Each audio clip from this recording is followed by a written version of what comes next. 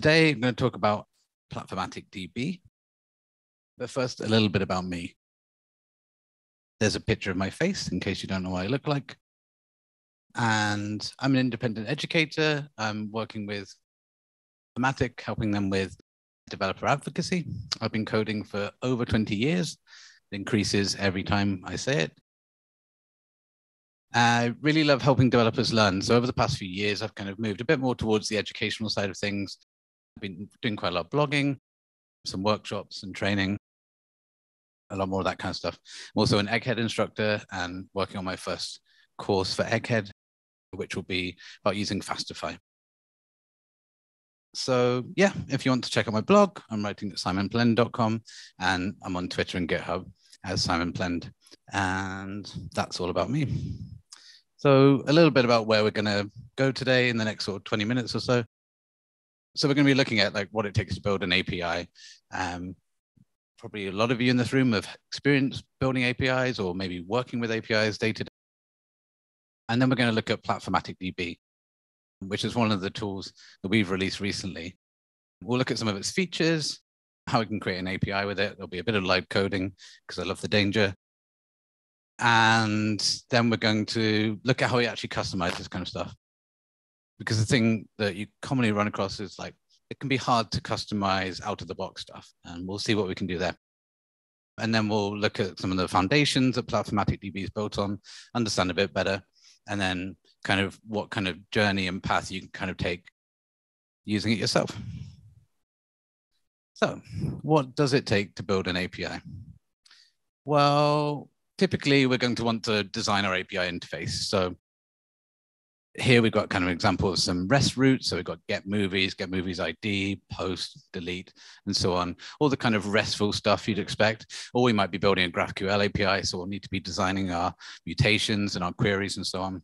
So we really need to think about this kind of stuff up front because it can become a bit difficult to change later on, especially once we've got people consuming our API. Then we've got to decide on a database system and we're going to use Mongo, we're going to use MySQL or Postgres. There's a lot of different things to think about there.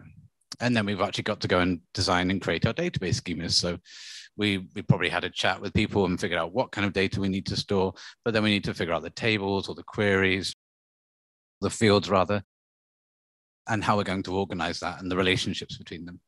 And then we'll probably need to integrate a database library. So we'll have a look around, figure out which one's going to work best for us. Do we want to use an ORM? Do we want to use a query builder? Do we want to use something much more raw and kind of native drivers? So there's a lot to, to think about there. And npm install is kind of just the tip of that iceberg because we've then got to go and actually integrate it into our application and configure it and figure out things like connection pooling and all that kind of fun stuff. So once we've done that, we've actually kind of got the base of our API. We haven't actually built anything. So we're going to need to wire up all our, in this case, if we're building a RESTful API, all the kind of create, read, update, delete, all the kind of standard stuff that you expect from every API. And we're going to have to do that for every single entity that we have. And then we've probably got some weird edge cases we'll need to map between things. And we probably want to add some request validation there to make sure that we give good feedback to our users, people who are using the API, but also so that you know we can actually have a bit better security and we're not just shoving any old data into our API or into our database. And then we want to document it because there's no no no good having an API if people don't know how to use it. So that can be quite a time consuming process going ahead and actually documenting everything. And then there's really a whole lot more. This is kind of just just the basics because you've got to think about metrics and monitoring and logging and all these kind of extra things that build up building an API. So not necessarily straightforward, but definitely kind of essential foundations. So Platformatic DB is in beta and it's an open source HTTP server that's built with Node.js but it's kind of a little bit more, as we'll see in a minute. It provides flexible tools, and you can see here in this beautiful diagram we've got, you know, a typical kind of stack may look like you have your front end, it might be in React or Vue or Solid.js, whatever kind of front end you may be building. And then you can build an API with Platformatic DB. If you want, you can have REST uh, interface. You can also have a GraphQL interface. And effectively, that's built on top of an SQL mapper, which is looking at your database. So you give it some connection details. We'll see this in just a minute. And it can connect to MySQL, Postgres, SQLite. And it will then map those and generate APIs automatically for you. So say it supports REST and GraphQL, but then also you can see that little white box there, your code. So we'll kind of dig into that a little bit later, what that means for like custom functionality. And then we've also got database migrations. So that's kind of an essential part of setting up our database, getting all the all the structure in place. And also then as we evolve and add features to our API, we're going to want to go ahead and actually say add new fields or new relationships. So it's currently in public beta and you can try it out if you go to oss.platformatic.dev. So it's fully open source, as are all the tools that you'll find there.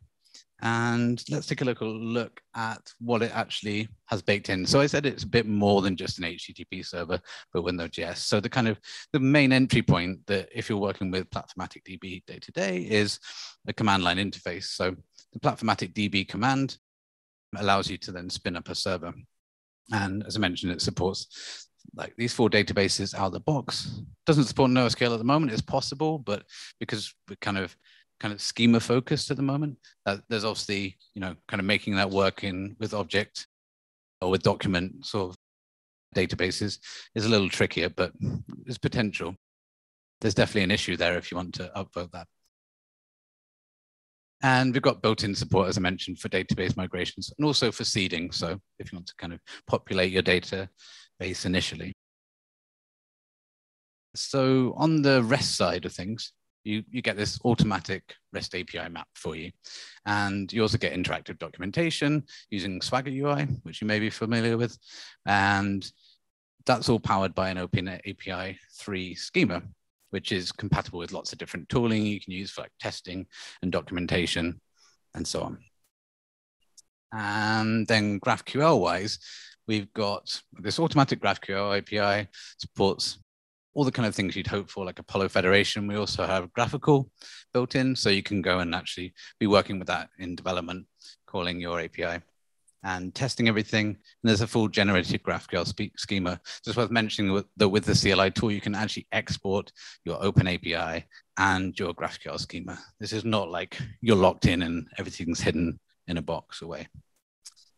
And also it supports authentication and authorization. So at the moment it's with JWT and webhook and HTTP headers, which you must only use in development because that's a very insecure way of doing things. And then there's authorization via role-based access control. So the kind of things you'd expect, like, oh, we're going to say this user is an admin and they have the rights to read and update and delete and do everything you might expect. So for JWT, that looks like we're not we're not at the moment we don't have an authentication service. So the idea is you would have your app authenticating, say, with a third party like Auth0 or something like that. And then that would send back a JSON web token with all the kind of user metadata. And your app would then send that through to Platformatic DB to the API that you built with that. And then you, that will automatically decode that token and verify that the user is allowed to go and access, for example, those routes in the API. And then similarly for webhooks, when a request comes through to Platformatic DB, it can be configured to then call a third-party authentication service, or it could be your own if you're running your own, something like Keycloak and then you'll get the, the response data. So there's all that kind of stuff baked in so you've got everything you need for building an API. So that's enough slides for now. I think Verity has very kindly offered to hold the microphone. Okay, so I've got a directory set up. It's just new package JSON and Platformatic installed as a dependency. So we're going to now run npx platformatic db and init. And so that's going to spin up a bunch of new stuff for us. And we can see that's created quite a few files over here.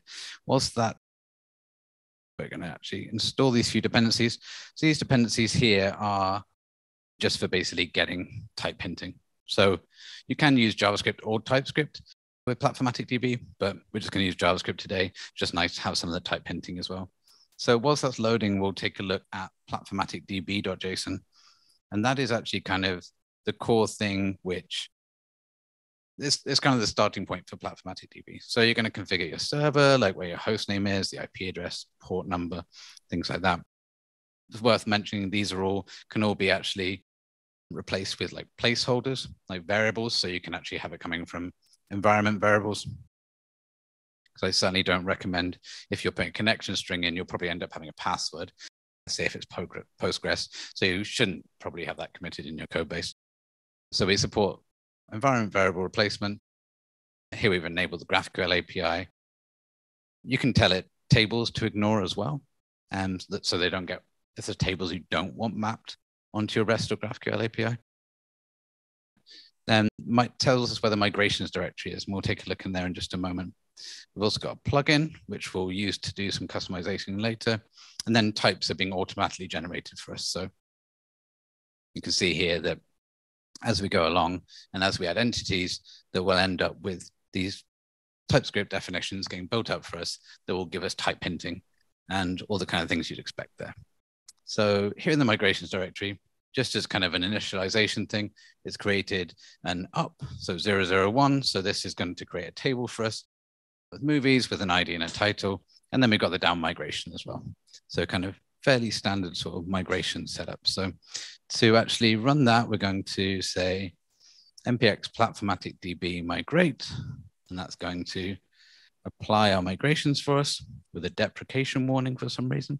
Find out about that later and file an issue.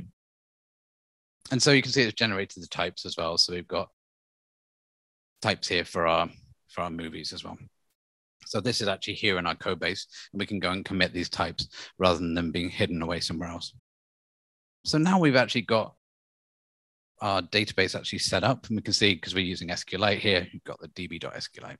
So we're now going to actually start our server. And now that that's listening, we can actually head over into the browser and take a look. So we've got the Open API documentation that I mentioned earlier. And we can see here that we've got get movies, we've got post movies, all the kind of routes and, and verbs that you'd expect.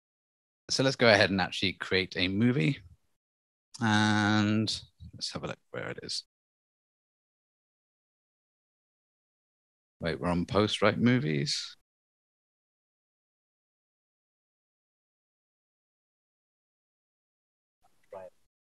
There we go. Cool. Uh, there's a little hidden try it out button. Okay, so we're going to add that very modern movie, The Wizard of Oz, and we're going to execute that. So what we should see down here, yeah, let me zoom in a little, sorry. We've now got response come back and it's created The Wizard of Oz for us. And we can verify this in just some kind of browser magic by heading over here and we'll do a curl and thank you to the cast of, of people holding this. I do really appreciate it. So let's have a look. Movies, and it's not connected because that's the wrong port number. Cool. So 3042.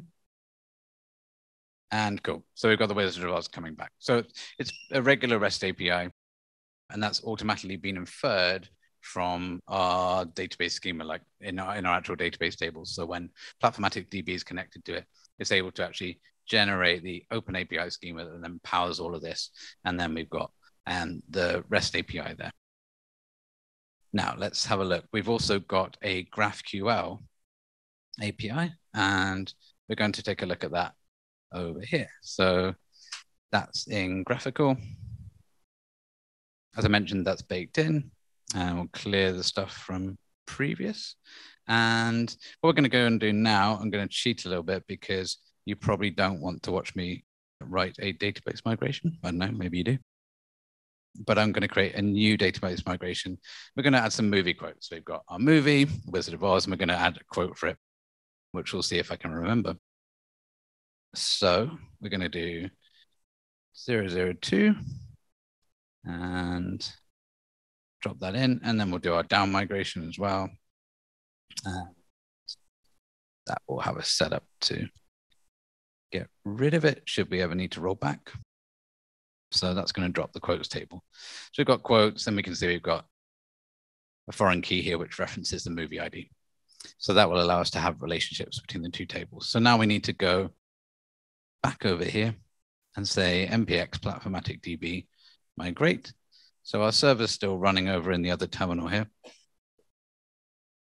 And you can see that it's gone ahead and generated that.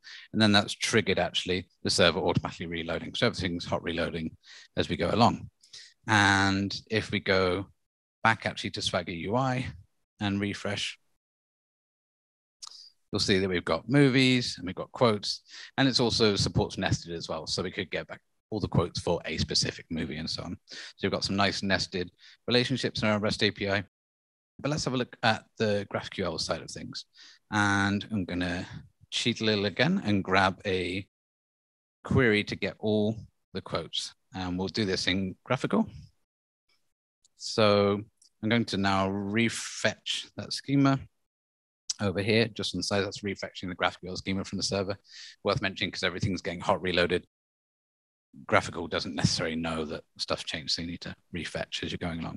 So it's going to get all the quotes back, and then it's going to get the movie for each quote and the title for that. So if we execute that, there's no quotes right now. So let's go ahead and add a quote. And the quote we're going to add, oh, fortunately, I don't have to remember my favorite quotes from The Wizard of Oz. So I'm going to actually drop this one in here. And now we can actually go ahead and create this quote.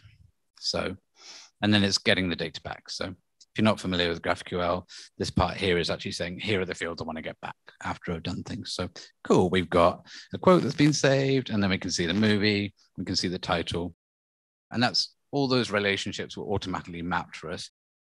And we can actually see everything here in the docs and the sidebar. So you can see all the available queries, for getting movies, and for getting quotes. And we can also see all the mutations that we can run as well. So insert and saving movies and so on. So that's all kind of automatic for us. Now that we have that, so we've got that all set up, and then let's have a look. Let's just go curl and see that we can actually access all that same data through through curl, through the REST interface. Yeah, great. So we can see here that we've actually got all of that data coming back here. Cool. So all the data is in our database. Everything's automatically getting mapped into those GraphQL and REST APIs. So let's actually take a little look back at a bit more of some of the features that we've got here. Cool. Thank you very much. So we've kind of covered very for for both microphone holders. Thank you very kindly, Verity and Alex. So out of the box functionality, that's kind of what you get out of the box. You put a bit of config in, you get all these kind of features for you.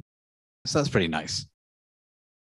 But the best part is really what comes next. And you'll often find with different tools that you get lots of nice stuff out of the box, but when you want to customize it, things get a little bit hairy and you kind of get a bit stuck and maybe a bit frustrated because you can't really customize it. But what we've done with Platformatic DB allows you to actually go ahead and really heavily customize everything. So you can add custom REST API route in any way that you want. There's no kind of particular thing. If you're familiar with Express or Fastify or Nest, or it's that kind of sort of route definition. And then you're going to have be able to actually go and extend the GraphQL schema that's already there, all the queries and mutations. You can go and add and build on top of all of those. You can use any packages from NPM. It's, it's just going to be a JavaScript file that you're running. It's nothing kind of magic or special there. And you can use all the built-in Node.js modules. So at this point, it's kind of sounding very much like a Node.js application because it is. And the, the CLI that actually comes with Platformatic DB is built on top of Fastify, which is a web framework which I describe as sitting somewhere kind of between Express and Nest.js. So Express is very bare bones, doesn't really give you much, isn't really very opinionated. but very flexible. And then at the kind of far end, you have something like Nest.js, which is super structured, very opinionated, has everything out of the box, the full kitchen sink, and Fastify sits some, somewhere in the middle. So it provides validation, it provides logging, provides a couple of other things, um, but it's you know still a bit more bare bones than say something like Nest. And then we've got Mercurius, which is a GraphQL adapter for Fastify, and that's powering all the GraphQL functionality that you see in Platformatic DB. And then we've got @databases, which is another library, and it's a type safe database library. So kind of sits somewhere between writing raw SQL and an ORM like Prisma. So it actually allows you to kind of access things with a nice sort of fluent interface. And you can also run raw queries through it too. So that's the kind of there's Postgrator. I should have the logo up here, but Postgrator is what we're using for migrations. So all kind of really popular and successful open source tooling. And because it's built on top of that, it means that we're able to actually expose all of that through Platformatic DB. So if you want to go and add custom REST API routes, say there's something that isn't automatically mapped, you can go ahead and actually add your own route or you can go ahead and extend the GraphQL schema.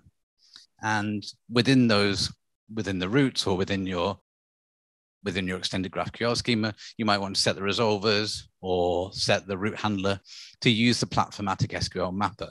So this SQL mapper is the key kind of thing that Platformatic DB is built on and what it's doing to do all that inferring of, oh, okay, the, these are the fields, these are the relationships, and you have access to that you have access to these entities. You can do find and update and so on. So you don't have to be writing raw SQL. But if you want, if you there's stuff that isn't covered by that and you want to go and write some, you know, 20 table query join, then you can go ahead and do all that. You've got the access to go and actually write those raw SQL queries. And if still that's not enough, you know, and you want to actually get rid of those, all the layers of extraction, you can actually use all the Platformatic packages standalone and they can, you can use them to build your own application in any way that you want. So really kind of pick and build as you choose. We have, we're going to do a bit of customizing of our APIs. Let me grab some of we've got here. So we're going to drop in another migration. So we've got our movies and we've got our quotes for our movies, but we want people to like it because we're going to build an incredible social network. No, we're not. So we're going to drop down the terminal, drop in, we'll close some of these files we've got open here. And we're going to drop in 003, and that's going to, we're going to be adding a likes field to the quotes table so that we can then count the number of likes that someone's given for their quotes. And then we're going to do a down migration undo.sql. If I could type undo, cool. So that will drop up that column. Yeah, column quotes. I think it should be likes. There we go. Cool. Okay, so now we've got that in place, we can actually go ahead again and run the migration command. And that should trigger everything to restart automatically because those entities are getting written again and, and so on. So now Platformatic DB has picked up the updated schema for everything. And we can actually head over into GraphiQL and we can then refresh our schema here and we'll get all quotes. So if we get all quotes here, oh, we'll, we can go and now add in, so you've got likes. So the really nice thing if you've never used GraphiQL before is that it's got sort of type hinting for everything as well because it knows the schema. Cool. So there's no likes, unsurprisingly, because we haven't liked anything yet. So we've got that likes field automatically coming through. And what we're going to go and do now is actually um, add some likes into our schema. So we need to actually go and customize things. So I mentioned earlier, we've got this plugin we didn't really look at it. So here in our platformaticdb.json, we've got plugin.js, which is referenced. So that's this file over, not that file. So plugin.js. And right now, because we're using JavaScript, it's importing those types using JS, JS types. If this was TypeScript, which it can be, and it supports TypeScript out of the box. If you've got the TypeScript compiler there, we'll just automatically use it for you. So we've got all these kind of type hinting and stuff. So right now, this is a Fastify plugin. So this is what I mean. Like this is effectively, you can put anything you want in this file and you can actually nest things as well. If you're familiar with Fastify, it's all a kind of plugin model. And so it allows you to actually kind of separate your concerns and split it out into separate modules. So we've got this module here. And what we're going to do is go and actually do something with this likes field and add some custom functionality in. So let me drop over. Oh, one, one other thing to mention is we've got those types, which we briefly looked at earlier, but as we've been going along and running migrations, those have automatically been getting generated. If you hate types and hate type hinting, you are very welcome to turn that off. You can just switch it off to false, but it's on by default. So cool. So we've got this here. Now let's go and cheat a little bit. And we're going to extend our GraphQL schema. So we don't have time today to also do REST and GraphQL, but we are going to drop this in to do, cool. So this is going to extend our GraphQL schema and it's going to add a new type query or new query rather called top quotes. And now we, we can save that and we'll see our server gets restarted automatically. And we can actually go ahead and add in a resolver for that. So we'll add in this resolver and this resolver. Let's give that a bit of formatting. Cool. Let's take a quick look at the resolver. So as I mentioned, this is all built, the GraphQL part is all built on top of Mercurius. So if you go and look at the Mercurius docs, GraphQL here is Mercurius. And so you can access all the kind of methods that are available there. So we've got, we're saying, okay, for the top quotes, quotes query, resolver is, and here's this SQL mapper stuff that I talked about earlier. So app.platformatic.entities is all the entities that have been mapped. And if we were to actually like go ahead and type this out, it would be return away app.platformatic dot entities and dot quote. Ooh, type hinting. And that's quite nice to be able to actually just have that all there.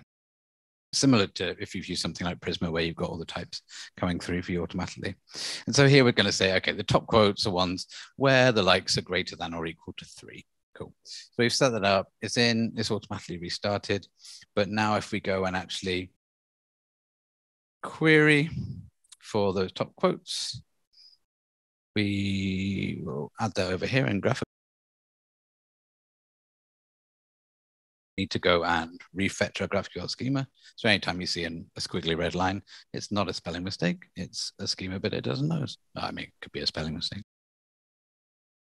Cool. So we're going to get the top quotes. There are sadly no top quotes yet. So to actually go and actually add an increment on the quotes, we're going to add a mutation in. So let's grab a new mutation. So we're going to extend the schema and drop in a mutation. Go. So we'll just go back up here and we can drop it in. So this is going to do, this is effectively kind of defining the schema parts. We're saying like quote, it's going to accept the quote ID and it's going to return an integer, which will be like the number of likes. Cool. So we've done that. And then again, similarly to what we did for the query, we're going to need to add in a resolver. Make sure I don't miss a brace. Okay, cool. Cool. So now we're going to go down. Thank you very much. Let's do a little bit of formatting. Cool. So we've got this like quote mutation. And so that's going to allow us here, we can see we, we can access app.platformatic has DB and SQL. So as I mentioned earlier, we can drop down to writing raw SQL. My editor does not know how to format the code. Never mind. Cool. So the nice thing here is we've got SQL and it does all the kind of um, escaping that you'd expect to keep our SQL queries safe because if we're dropping in stuff like user data that's come through, we want it to be escaped for us. So that will happen automatically because we're using this SQL function here. And so here we're going to say update the quotes, and we're just going to increment, increment the likes column by one, where the quote ID is this, and then we'll get back the number of likes, and then send it back. So here we've defined this like quote mutation, and what we should be able to go now go and do now is to go and actually like that Wizard of Oz quote. Cool. So we'll drop that in, we'll refetch the schema. So recognize it. So that Wizard of Oz quote that we saw earlier, we're going to go and like it, and we're going to like it again. And we've got two quotes, and then we've got three quotes, or three likes rather, and then four quotes. It's probably the most popular quote on our app. And now we're going to go and get the top quotes, and we'll see that it's now showing up. So we've been able to fairly simply, admittedly, I copied and pasted. I know it's cheating. But with a fairly minimal amount of code, we've been able to actually go and actually extend our GraphQL schema, add in a query, add in a mutation, and access all the same kind of stuff that Platformatic DB is using under the hood, and also drop down to raw SQL. And so that kind of gives a little bit of a flavor of some of the kind of customization that's possible. If we wanted to, we could have gone and installed any other NPM module and used that here too. And I am pleased to say, and I'm sure you're pleased to hear, thank you very much. Please round of applause. That is the last time for everyone. Thank you very much. So let's drop back over here. And then lastly, we, we don't really have time to jump into today, but the kind of last level of customization, if you really don't want to, to use Platformatic DB, this is not the only thing we have built and, and there are more tools that are in progress. But this is these are the packages that Platformatic DB is built on. So the SQL mapper stuff that I mentioned about, the open API parts, the GraphQL parts. There's a newer one, which I didn't get a chance to demo today, but SQL events, which actually uses MQ emitter. So you can do server sent events, WebSockets, GraphQL subscriptions, all that kind of good stuff. And we'd really love it if you gave it a try, oss.platformatic.dev. We've already got a really lovely active community of contributors. We're also on Discord as well, which I know Adam will love. And you can find us on Twitter as well, Matic. And you can find me obscured at the top corner there at Simon Plend on Twitter. Of course, come grab me at the pub. We do have one of these lovely t-shirts I'm modeling, which is platformatic with some London stuff. Please take them so that I don't have to take them to the pub. Thank you. And that's all. Thank you very much.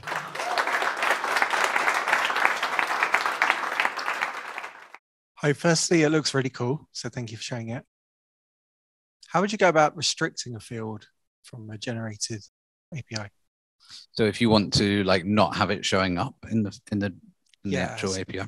Say you didn't want likes to be public information, for example. Yeah, that makes a lot of sense. So let me just go.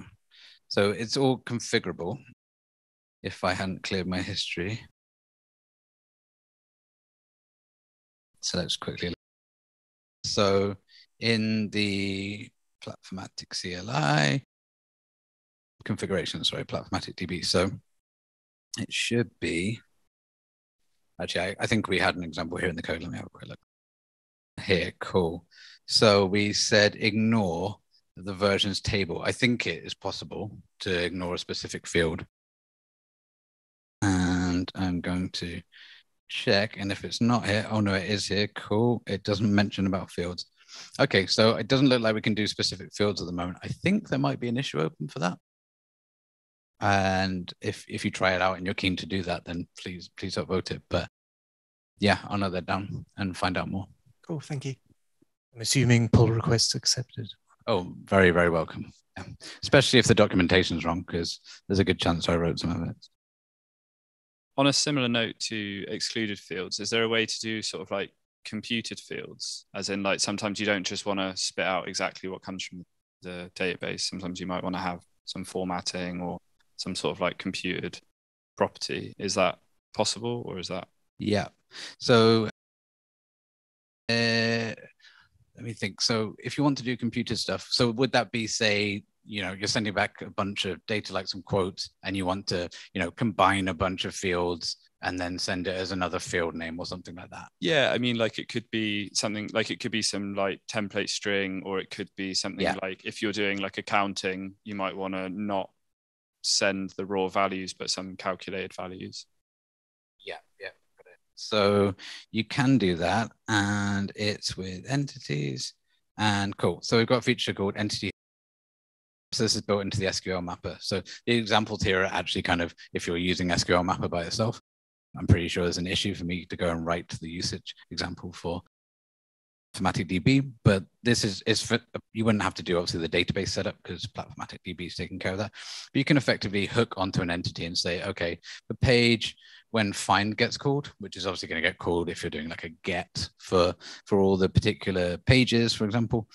And then you can actually go ahead and call the the original find method with whatever options for pass through and then actually map and do your own stuff on it. So you know here is fully whatever fully custom code. So i think that would handle the kind of computed fields use case you're talking about. Yeah. Cool. Thanks.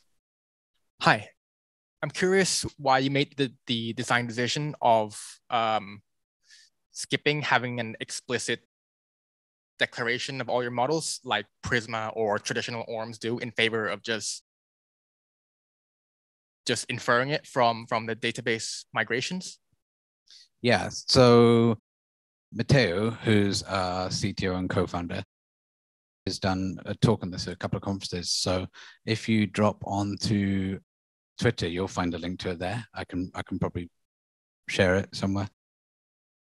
But he's done a whole talk on why he wouldn't use an ORM, and kind of a lot of it from his perspective is around the potential bloat that it can bring to the application and also at some point the kind of performance impact that it can have as well. And so it's really about kind of avoiding that kind of those potential issues.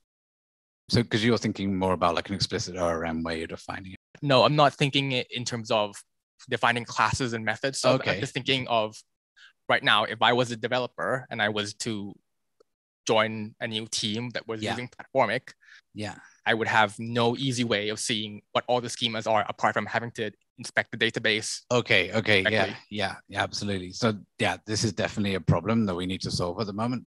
We were chatting about it the other day. So we need a way so you can see the state of everything that's there. So you, you would want to be able to just see effectively every every table and all the fields and stuff. Yeah. So you can actually we can do this. It's let me just toggle this on quickly. Sorry if you're really desperate to get to the pub. Cool. So we can do dashboard. This was released last week. So dashboard and metrics. So we've actually got a built-in dashboard now, and then we'll re oh, it should restart for us. Cool. Restarted. Okay, great. So if we then go over here, we can now see the beautiful Platformatic DB dashboard and it's got kind of the application metrics. So one of the things we didn't cover today is that you can actually, if you enable metrics, you get data, you get metrics that can go into Prometheus. You also get all, all the kind of metrics that you would expect that you can go into Grafana as well, or other box. So you can see all them here on the dashboard. Then you've got GraphQL, you can see your config, all the kind of stuff we were looking at earlier. But to kind of see what tables are there, you can then go here and we've got this table view, which actually shows the data. So it's quite nice in development. So you can kind of, if you don't really want to curl everything or use GraphiQL, you can kind of just jump in here and then go and edit records and, and view. So uh, hopefully that would give the kind of view that you were talking about there. Yeah, cool. Thank you. Thanks, everyone. Cheers.